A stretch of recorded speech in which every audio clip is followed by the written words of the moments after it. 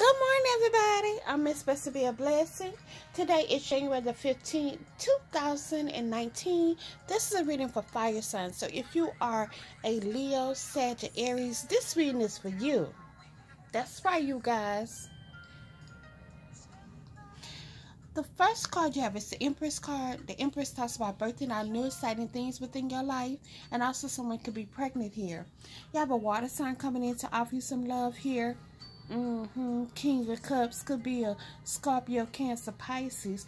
And the Leo is here telling you that you have the strength that you need. But Leo's always standing up in the fire sign thing. But it's also telling fire signs have the strength you need to deal with anything that goes on in your life.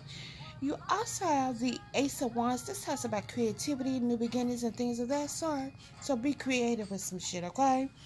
The Four of Cups is saying that some of you are definitely your emotion regarding some things, but yet you get bored really easy. Yes, fire signs get bored easy. They need action. Fire is the action thing. You need some action in your life. Time for you to do some things. Now, some of you could be dealing with some um, betrayal. Things are not looking the way that they should be, or something you looking at is not what it is. Y'all understand what I'm saying?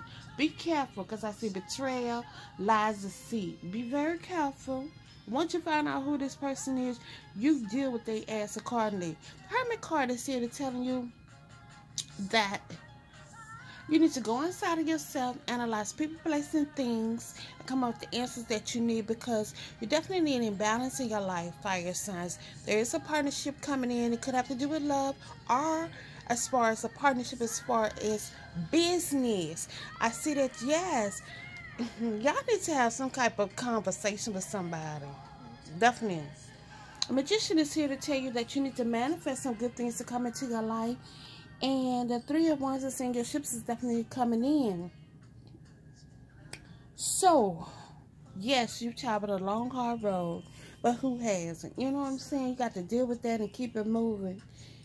That's an ending with new beginnings. And with the Emperor here saying for you to stand up for yourself yes, somebody's in their emotions regard to something, feeling like they lost something. These cards said, fuck it, we're going to throw all five cups down.